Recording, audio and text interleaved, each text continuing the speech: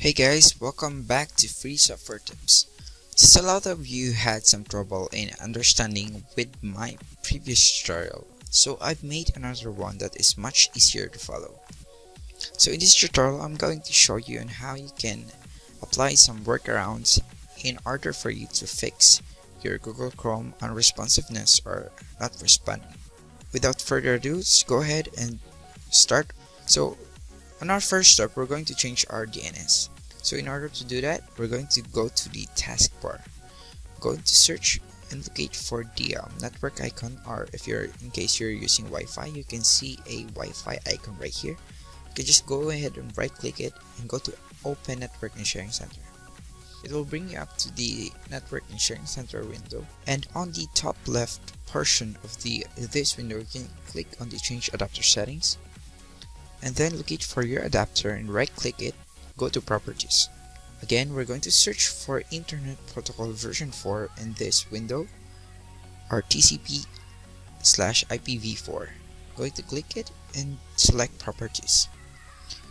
In this window, we're just going to change the um, use the following DNS server addresses the preferred DNS and alternate DNS server.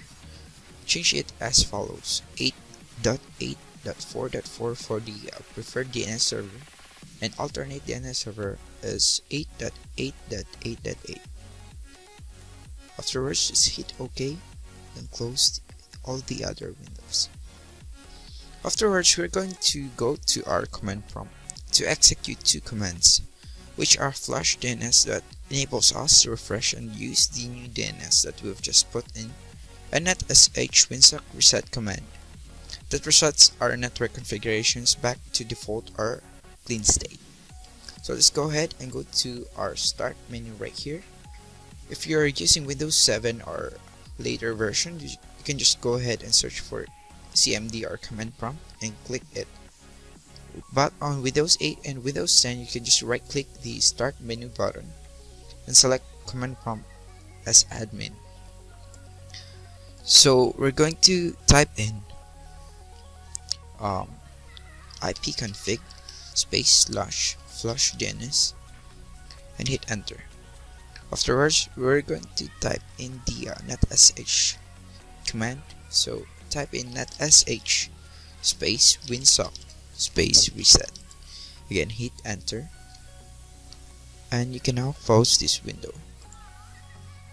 So after that, you can just go ahead and restart your computer and see if your Google Chrome is now working. If it's still not working or it still crashes random times, you can do this next step if you are now able to access Google Chrome but still you experience sudden crashes or unresponsiveness. So go ahead and open up Chrome and go to this um, go to the uh, this little three box icon right here. Go to settings.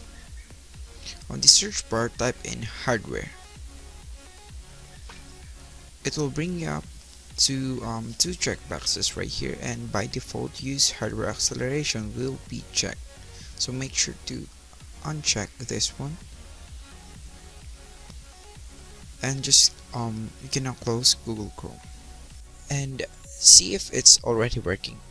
So now if it's still not um, opening up or you're still not able to uh, use your Google Chrome, we can go ahead and go to our file explorer or yeah.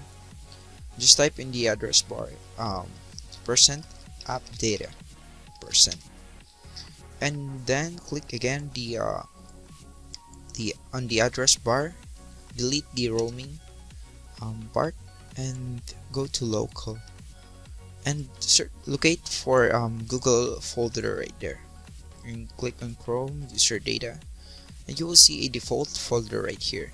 Just going to rename it as default that old and then you're just going to minimize or close this window and we can now open up Google Chrome and it is now reset back to default.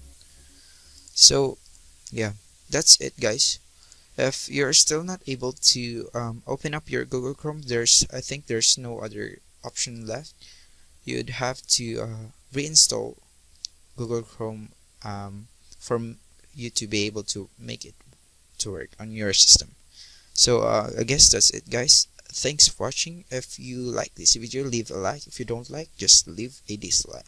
I will appreciate your comment down below and I will rep reply to you as soon as possible thanks for watching. This is free software tips